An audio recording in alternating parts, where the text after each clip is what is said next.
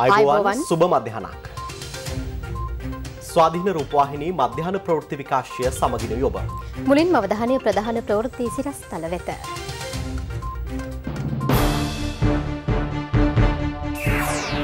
කොරෝනාවට එරෙහි සියලුම එන්නත් එක සමානයි. කුමක් හෝ පිතගන්න. වෛද්‍ය හේමන්ත සැමකින් ඉල්ලයි. විස්සයි විසි නවය එන්නත් කරණය අදත් අකණ්ඩවම. හදිසි නීති රෙකුලාසීන් ප්‍රජාතන්ත්‍රවාදයට කිසිදු බලපෑමක් නැහැ. රාජ්‍යඇමති ඩීප කියයි. දේශීය නිෂ්පාදනයේ පෙරලිය ඇරඹෙයි. එන්නත් කරණය සපුරාගත් සැනින් සංචරණ සීමා නිමයි. සංචාරකයන්ට රටවිවෘතයි. ඇමති ප්‍රසන්න කියයි. මැනික ජනකත කළ ගුරුගේ මැනික් රුවන්පුරෙන් සදහටම සමුගනී. ලෝකයෙන්ම කොන් කළ මුල්ලා ඇෆ්ගනිස්ථාන් අනාගතය අතට ගනී.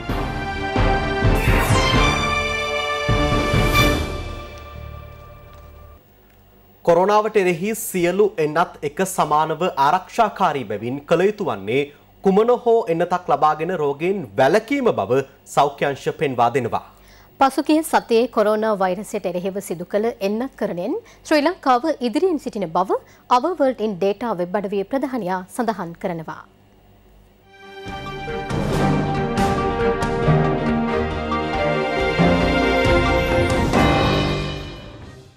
එන්නත් කරන අතින් ශ්‍රී ලංකාව පසුගේ සතේදී ලෝකෙන්ම පළමුුණ ස්ථානය ලබාගෙන තිබෙනවා. ජනගහනෙන් සියට කොළහයි දශමහයක ප්‍රතිශතයකට පසුගේ සතේදී පමණක් එන්නත ලබාදී ඇති බවයි අවවර්ල්ඩින් ඩේට ප්‍රධානී එඩවඩ් මැතිව් ට්‍රිට පනිිවුඩයක් නිකුත් කරමින් සඳහන් කරන්නේ. නවසිලන්තේ සහකයව බව පිළිවෙලින් දෙවන සහ තුන්වන ස්ථානවල පසුවනවා. කොරුණාවට එරෙහි එන්නත් කරන වැඩසටහන්න දෙබේන පුරා සාර්ථකව ක්‍රියාත්මක වනවා. උතුරු නැගෙනහිර ඇතුළු දෙවේනේ සෑම දිස්ත්‍රික්කයකම ක්‍රියාත්මක එන්නත් කරණය අද දිනේද මධ්‍යස්ථාන හාරසිය දහසේකදී සිදු කෙරෙනවා. වයසවරුදු විස්සත් විසි නවයත් අතර වයස්කාණ්ඩේ අය සඳහා එන්නත් කරනේ බස්නහිර පලාතේ සහ ගාල්ල මාතර දිස්ත්‍රික්කවල ක්‍රියාත්මකයි.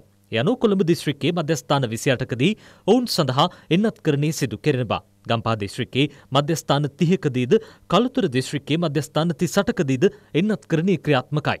කිසියම් හෝ එන්නතක පළමු මාත්‍රාව ලබාගෙන ඇති සංඛ්‍යාව එක් කෝටි විසියට ලක්ෂ විසිතුන් දහස් එකසිය හතලිස් හතක් අනු හතර ලක්ෂදා හතර දහස් අටසිය පනස්සෙක් දෙනෙකුට දෙවන මාත්‍රාව ලබාදී තිබෙනවා. ඊ දිනේදී පමණක් පුද්ගලයන් හාර ලක්ෂ විසි නවදහස් පන්සේ එකොළොස් දෙනෙකුට එන්නත් ලබාදී තිබෙනවා. රට විවෘත කරොත් නැවත වතාවක් ආපහු මුල් තැනට යන්න ගියොත් මං හිතනවා අපිට අපිට කවදාකවත් මේ ප්‍රශ්නය ඉවර කරන්න හම්බ වෙන්නේ නැහැ. ඒ නිසා රට ලබන සඳුදා විවෘත කරනවා නම් එදිනෙට රටේ සමාජ ආර්ථික කටයුතු කරගෙන යාමේදී කළ යුතු ආකාරය පිළිබඳව ඒ ඒ අංශවල බලධාරීන් විසින් මේ වෙනකොට සැලසුම් සකස් කරලා ඒවා ප්‍රසිද්ධයට පත් කරලා තියෙනවා නම් මං හිතනවා රට ඇරීමට සුදුසු තත්ත්වයක් තියෙනවාද කියලා සෑහීමකට පත් වෙන්න පුළුවන්. එසේ නොවි රට විවෘත කිරීමෙනුත් ගැටලු සහගත තත්ත්වයකට පත් වෙන්න පුළුවන්. ඒ වගේම රට විවෘත කිරීමේකට ගන්නා තීරණ වලටත් ඒක බලපානවා. කොයි මොහොතේ හෝ රට විවෘත කළොත් කරගෙන යන සමාජ ආර්ථික කටයුතු රෝගය බෝවීමට තුඩු දෙන ලෙසින් සිදු නොවීමට අවශ්‍ය සැලසුම් ඒ ඒ අංශ විසින් බාර අරගෙන කළ යුතුයි. අපි කියන්නේ මේ රෝගය බෝ නොවන ආකාරයට මේක සිද්ධ වෙනවා නම් ඒක තමයි අපිට අවශ්‍ය වෙන්නේ. එහෙම නැතුව රට වහලා තිබීම නෙවෙයි අපේ පරමාර්ථය. අපිට ඒකට පුළුවන් වාතාවරණය තියෙනවා නම් මං හිතනවා අපිට මේ තියෙන ක්‍රමයටද වඩා වැඩිපුර ක්‍රමයක් කිරීම අවශ්‍ය වෙන්නේ. දැන් මේ තියෙන තත්ත්වයේ යටතේ මේ රෝගය වැඩි වෙනවා නම් මං හිතනවා මීට වඩා ඉහළට යෑමට හෝ දැඩි කිරීම ගැන නැවත සලකා බලන්න වෙනවා. හම්බන්තොට දිස්ත්‍රික්කයට ෆයිස එන්නත ලබාදීම සම්බන්ධයෙන් මාධ්‍යවේදී නැසූ ප්‍රශ්නවලට වෛද්‍ය හේමන්ත හේරත් මහතා මෙලෙස පිළිතුරු ලබා දුන්නා. එක කණ්ඩායමකට එක එන්නතක් දීලා ඒ කණ්ඩායමෙම තව කොටසකට තවත් එන්නතක් දීම සංකීර්ණ තත්වයකටපත් වෙනවා. අන්න ඒක අවම කර ගැනීම සඳහා ඒ ඒ දිස්ත්‍රික්කවල ඉන්න ඉලක්ක ජනගහනය සැලකිල්ලටගෙන පළමු එන්නත් වගේ මන්නාරම දිස්ත්‍රික්කයට යවුවේ. එතෙන්දී එහි සිටි දීවර ජනතාව පිළිබඳවත් අපි සැලකිල්ලට ගත්තා. ඒකට කාට හරි තර්ක කරන්න පුළුවන් එහෙනම් යාපනයේ දීවන තරදාවත් හිටියා නේද කියලා. නමුත් එහි හිටපු දීවර ජනතාවගේ සංඛ්‍යාවයි මන්නාරම හිටපු දීවර ජනතාවගේ සංඛ්‍යාවයි ගත්තාම අර ලැබෙන සීමිත තොග බෙදා හැරීමේදී ඒ ගැටලු මතුවෙනවා. එවැනි සියල්ල සැලකිල්ලට ගෙනයි මේක ඉදිරිපත් කරන්නේ. ඒ නිසා සෞඛ්‍ය අමාත්‍යාංශයේ තාවරය මේකයි. මේ අතර ඊයේ දිනේදී නව කොරෝනා ආසාදිතයන් 2964 දෙනෙකු හඳුනාගත්තා. යනු මෙරටින් වාර්තා වන සමස්ත කොරෝනා ආසාදිතයන් සංඛ්‍යාව 4,71,863ක්. රෝහගතව සහ නිවෙස්වල පුද්ගලයන් 73081 දෙනෙකු ප්‍රතිකාර ලබමින් සිටිනවා. සුවේ ලබා ඇති සංඛ්‍යාව 3,88,278ක්. පෙරේදා දිනේදී තහවුරු කළ ඊයේ වාර්තා වූ ආසාධිත මරණ එකසිය අසූ හතරක්ද සමකින් මෙරට වාර්තාවන සමස්ත කොරුණා මරණ සංඛ්‍යාව දස දහස් පන්සිය හතරක්. පිරිදා දිනීදී වාර්තා කළ මරණ අතර අවුරුදු හැට සහ ඊට බැඩි පුද්ගලයන් එකසිය තිස් හතර දෙනෙකු සිටිනවා. අවුරුදු තිහත් පනස්නවයක් අතර පුද්ගලයන් හතලිස් හය දෙනෙකු සහ අවුරුදු තිහට අඩු පුද්ගලයන් හතර දෙනෙකුද ඊට ඇතුළත්. ඊයේ දිනේදී සිදුකර ඇති PCR පරීක්ෂණ සංඛ්‍යාව නවදහස් නවසී හැත්තෑ හතක්. රැපිඩ් ඇන්ටිජන් පරීක්ෂණ තුන්දහස් තුන්සිය විසි හතරක් ඊයේ දිනේදී සිදුකර තිබෙනවා.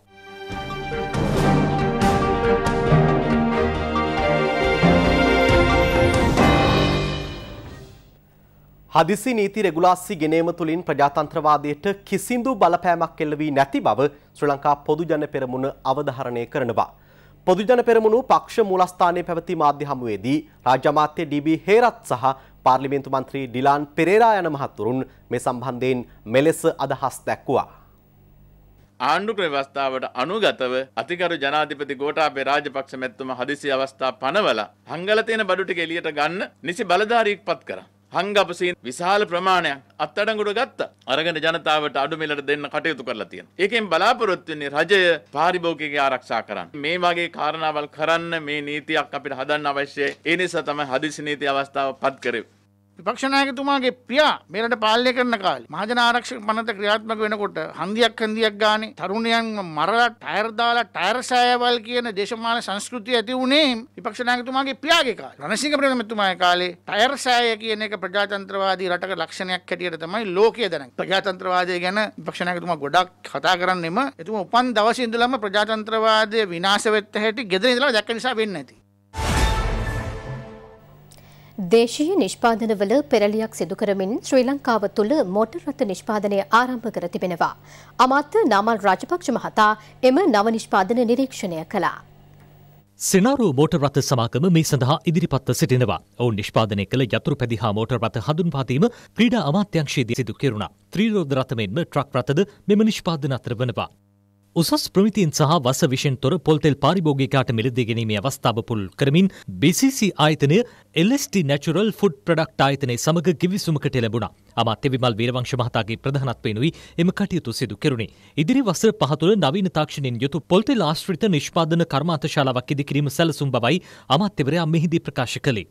ශ්‍රී ලංකාවේ පොල් තල් සහ කිතුල් ප්‍රවර්ධනය කිරීමේ වැඩසටහන යටතේ ප්‍රංශයේ ගෝයාපී නව බෙදා හැරීමේ ප්‍රදර්ශනාකාරය රාජ්‍ය අමාත්‍යාරුන්දික ප්‍රනාන්දු මහතාගේ ප්‍රධානත්වයෙන් විවෘත කෙරුණා. දේශීය වගාවන් ප්‍රවර්ධනය සඳහා රජයේ ගෙන යන වැඩපිළිවෙල මෙහිදී අගය කෙරුණු අතර ජාත්‍යන්තර වශයෙන් ඒවා ප්‍රවර්ධනය පිළිබඳ රාජ්‍ය අමාත්‍යවරයා සාකච්ඡාවක්ද පැවැත්වුවා. එන්නත් කරන ඉලක්ක සපුරාගත්තට පස්සේ දැනට පනවලා තියෙන සංචලන සීමා ඉවත් කරනවා කියලා ඇමති ප්‍රසන්න රණතුංග මහතා රුසියාවේදී මාධ්‍යවේදීන් හමුවේ කියා සිටියා. අපේ රටේ සංචාරක කර්මාන්තය ප්‍රවර්ධනය කරන විශේෂ වැඩපිළිවෙලක් මේ දවස්වල රුසියාවේ ක්‍රියාත්මක කෙරෙනවා. මේ වැඩපිළිවෙලේ පළමු පියවර හැටියටයි ඇමතිවරයා රුසියා මාධ්‍යවේදීන් මුණ ගැසුනේ. සංචාරක සංවර්ධන අධිකාරිය සංචාරක ප්‍රවර්ධන වැඩසටහන ක්‍රියාත්මක කරනවා.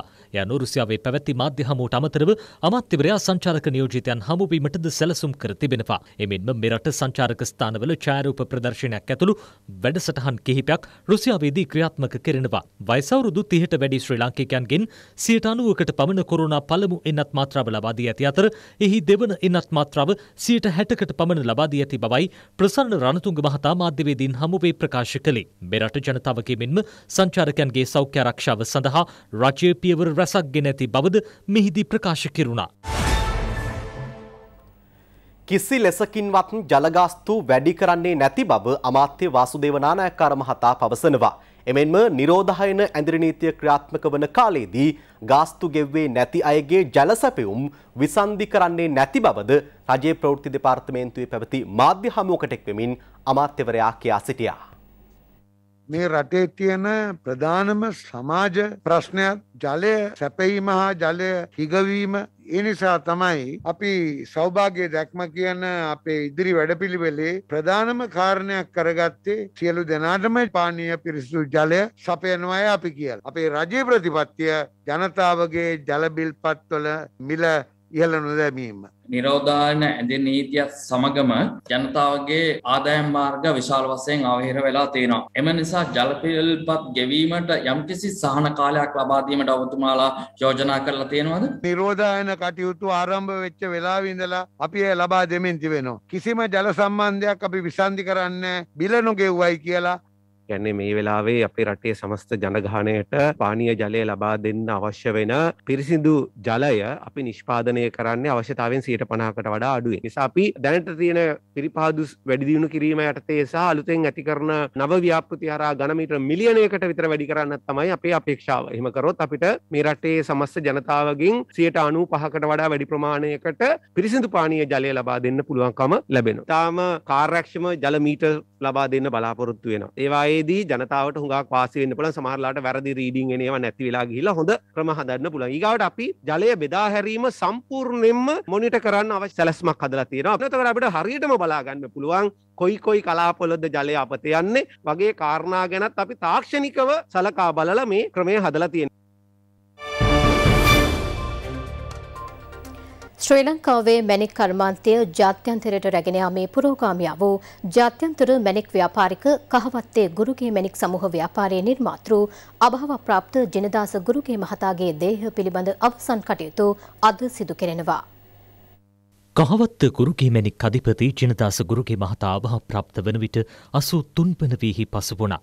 එක්දහස් නවසය පණහා දශකයේදී මැනික් ව්‍යාපාරයට පිවිසි ඒ මහතා මැනික් ව්‍යාපාරිකයන්ගේ හා පතල්කරුවන්ගේ වෘත්තිය ගැටලු නිරාකරණය සඳහා ලංකා මැනික් ව්‍යාපාරිකයන්ගේ හා පතල්කරුවන්ගේ මහා සංගමය බිහි කළ නිර්මාතෘපරය අත වනවා. ප්‍රමුඛ පෙළේ සමාජ සේවකයෙකු වූ ඒ මහතා දුප්පතුන්ට මුදල් බෙදාදීම ආරම්භ කලා පමණක් නොව විහාරස්ථාන ගණනාවක්ද ගොඩනකා තිබෙනවා. කහවත්තේ පොසොන් තොරණ වසර හැටක් තිස්සේ ප්‍රදර්ශනය කෙරුණේ ජනදාස ගුරුකේ මහතාගේ අනුග්‍රහකත්වයෙන් රටබල් ගණනාවකට මැනික් කපනයනය කළ ඔහු ලොබ වටිනාම ඩෙල් මැනික් කලක් මිලදිකත් ව්‍යාපාරිකයකුද වනවා. මැනික් පතල් හිමියකු සහ ජාත්‍යන්තර මැනික් ව්‍යාපාරිකයකු වූ ඔහු පසුව සංචාර්ක හෝටල් ක්ෂේත්‍රයටද පිවිස තිබෙනවා. ඒ මහතා දියනියන් හත් දෙනෙකුගේ සහ පුතිකුගේ පියෙක් ජාත්‍යන්තර මැනික් ව්‍යාපාරික කහවත්තේ ගුරුකී මැනික් අධිපති අභහප්‍රාප්ත ජිනදාස කුරුගේ මහතාගේ දේහය පිළිබඳ අවසන් කටයුතු අද සවස හතරට පවුලේ සුසාන භූමියේදී සිදු කිරීමට නීමිතයි. බ්‍යන්තර ශෝක පණිවුඩයක් නිකුත් කරමින් ජනාධිපති ගෝඨාභය රාජපක්ෂ මැතිතුමා මැණික් කර්මාන්ත ක්ෂේත්‍රයේ ශ්‍රී ලාංකේය නාමය ජාත්‍යන්තරයට ගෙන යාමට පුරෝගාමී වූවන් අතර ජිනදාස ගුරුගේ මහතාගේ නාමය ප්‍රමුඛතාව ගන්නා බව පවසනවා. ඔහු ව්‍යාපාරිකයෙකු ලෙස සිය අනන්‍යතාව ආරක්ෂා කර ගැනීමේදී සමාජීය වශයෙන් රටකට හිමිවිය යුතු යුතුකම්ද අමතක කළේ නැති බවත් කීර්තිමත් ශ්‍රී ලාංකික පුරවැසියෙකු ලෙස ඔහු ජනතාව අතර ප්‍රකට වූ බවත් ජනාධිපතිතුමා පවසනවා. එසේම ආබාධිත රණවිරුවන්ගේ සුභසාධනය වෙනුවෙන් ඉදි වූ අභිවංසල ව්‍යාපෘතිය සඳහාද ගුරුගේ මහතා දායක වූ බවයි ජනාධිපතිතුමා තවදුරටත් පවසන්නේ. ලෝදන වෙත නිරෝගී සුව ප්‍රාර්ථනාගෙන එන පරිත්‍රාණ ධර්ම දේශනා මාලාව මිරිසවැටිය චෛත්‍ය අභිහසදී ඒ රාත්‍රියේදී ආරම්භ වුණා.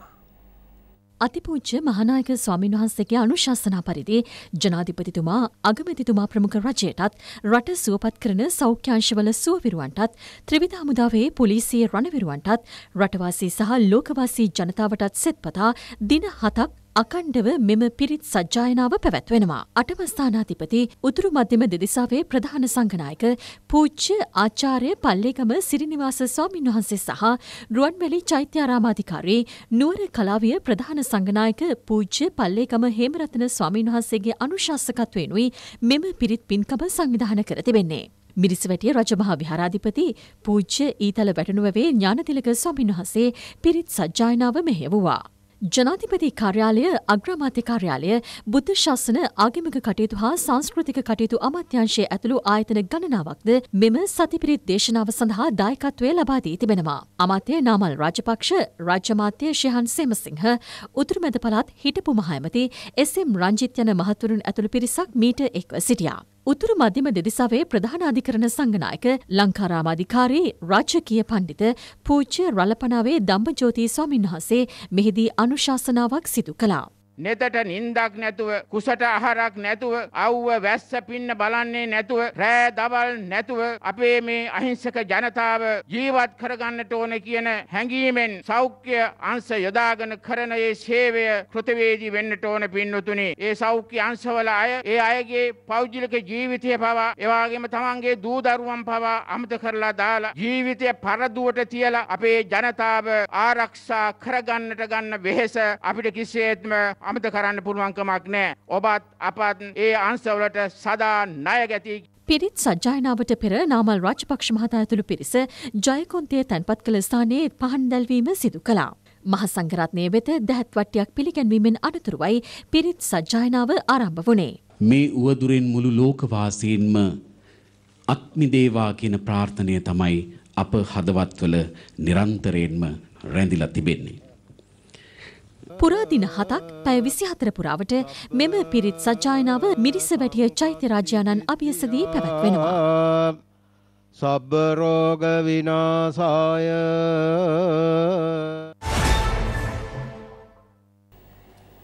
ඒත් සමගින් මධ්‍යහන ප්‍රවෘත්ති විකාශය නිමාවට පත්වනවා. පස්සුරු එකයි පනස් පහේ සිට අපගේ පැයින් පෑපුවත් එකශය බලාපොරොත්තුවන්න ඔබට සුබදවසක්.